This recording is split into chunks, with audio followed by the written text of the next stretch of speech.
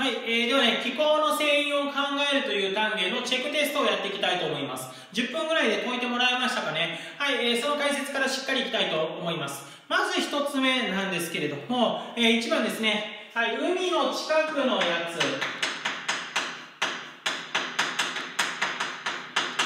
詳しくは説明していませんでしたが、海の近く、いわゆる、えー、海角あ角海差、えー、角海度が、えー、小さい、えー、ものですね。はい、これ海洋性気候と言います。一方で、はい、角海度がでかいのっていうのは、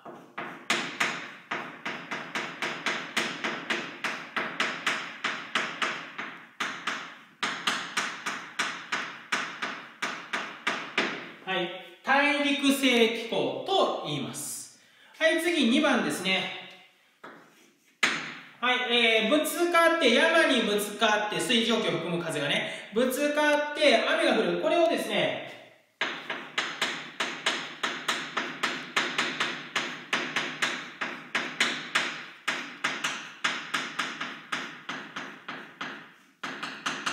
はい、地形性降雨。2番、地形性降雨と言います。はい、次、3番ですね。3番、赤道付近にあるやつ。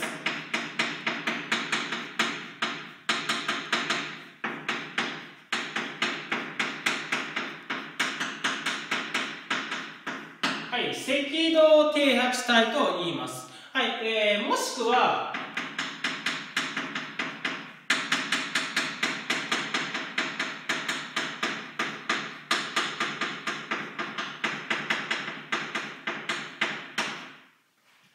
熱帯収束帯ということもあるんで、これもね、合わせて押さえておきましょう。3番、あ、4番なんですが、それよりも、えー、20度、30度高いやつですね。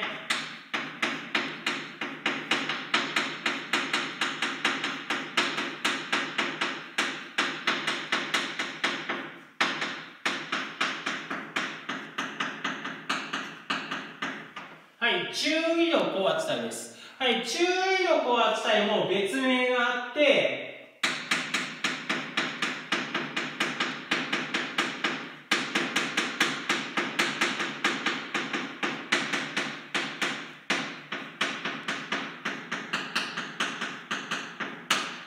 はい、亜熱帯高圧帯と言います。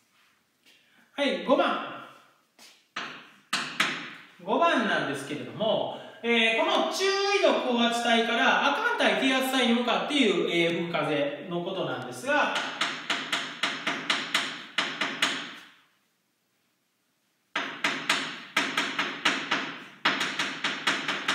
はい、えー、偏西風と言います。はい、えー、6番なんですが、えー、中緯度高圧帯から亜寒帯低圧帯に向かって吹く風、これを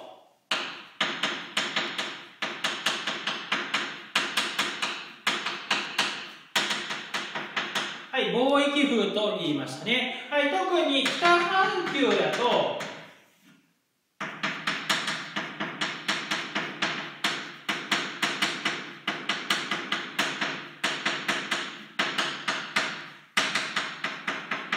はい、北東貿易風と言いました。一方で、南半球に行くと、はい、北と南を入れ替えるだけ、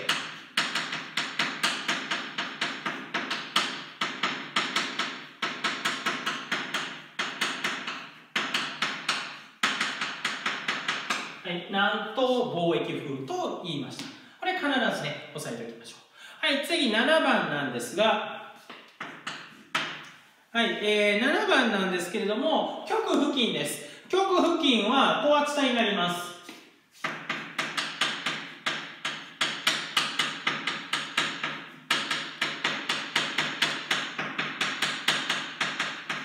はい、極高圧帯っていうやつになります。はい、次8番。えー、8番なんですけれども、アルプス山脈を越えて、えー、行く風ですね。地中海の方から吹いてきます。はい、ベーです。高温乾燥風。これもね、えー、セットで線引いといてくれてもいいんかなと思います。高温,、えー、高温乾燥風になります。はい、次9番。今度は逆、えー、っと、アルプス山脈を越えて地中海の方に吹く風、えー、ですね。えー、ミストラルですね。寒冷乾燥風になります。はい、じゃあ次10番いこう。はい、10番なんですけれども、えー、海域線さ、えー、付近にある世界最大級の大きな砂漠です。えー、グレートサンディ砂漠とか、えー、っと、あとね、サンディ砂漠とルバルルブアルハリ砂漠ですね。アラビア半島にあるルバリハリルブアルハリ砂漠もこれに含まれます。えー、サハラ砂漠、これというか、大気性砂漠に含まれます。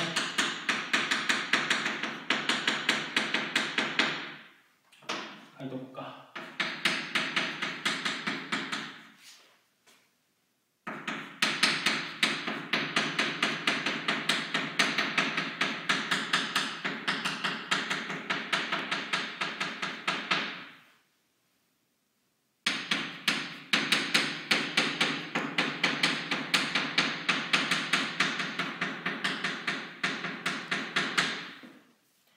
次12番いきまし、あ、11番いきましょう。はい、11番は、えー、っと、海から離れた場所にね、えー、形成される砂漠です。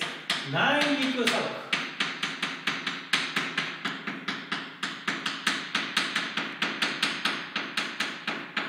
になります。はい、次12番いこう。12番。はい、12番なんですけれども、えー、ペルー海流によって形成されるもの。はい、これが、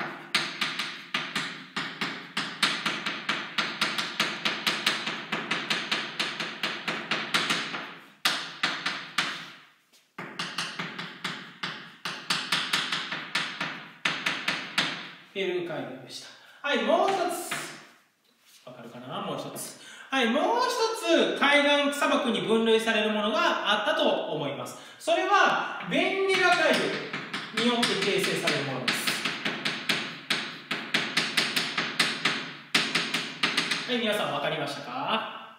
うん。はい、ナミブ砂漠ですね。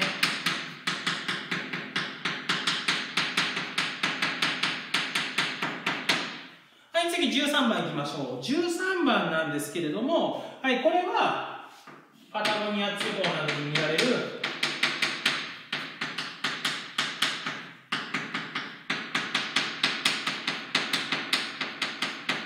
はい、甘辛砂漠ということになるよ。はい、さ次14番。はい、えー、14番ですが、えー、さっき言っちゃいましたね。パタゴニア地方。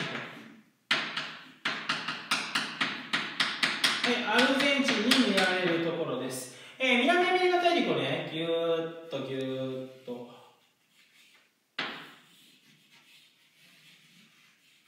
こんな感じで書いてみると、ちょっと、もうちょっとなぞらかな。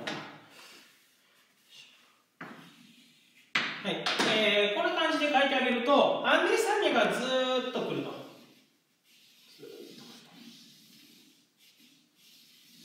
はい、で、ここら辺の地方っていうのは偏西風が吹きます。偏西風が吹くから、こっちからこっちに風が吹くよね。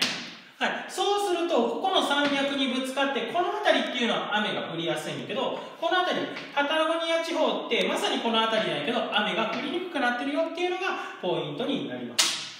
はい、次15番なんですけれども、はい、えー、これは北大西洋海流。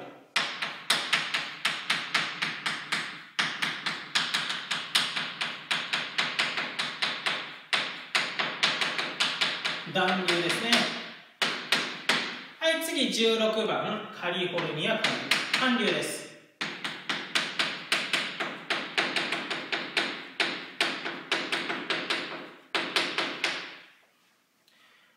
17番、はい、17番はカナリア海流。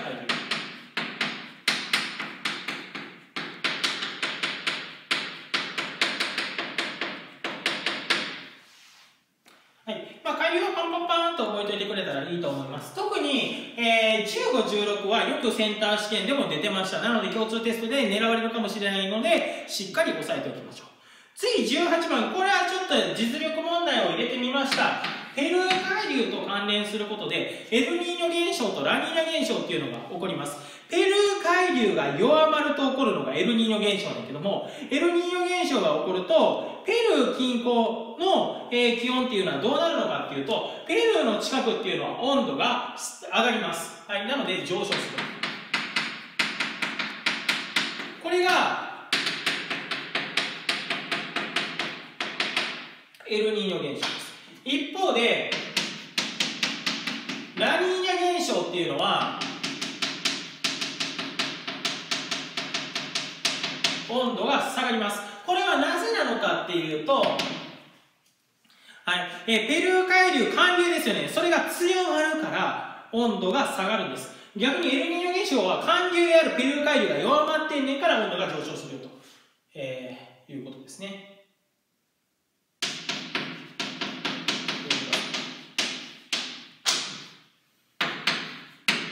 次19番いきましょう。19番なんですけれども、はい、えー、日本の近くなので、これは台風を選んでください。はい、最後20番ですね。20番、南アメリカ大陸と、えー、アフリカ大陸の間、つまり大西洋ですよね。大西洋と、えー、太平洋の、えー、アメリカの付近、北半球のところで吹くやつは、ハリケーン。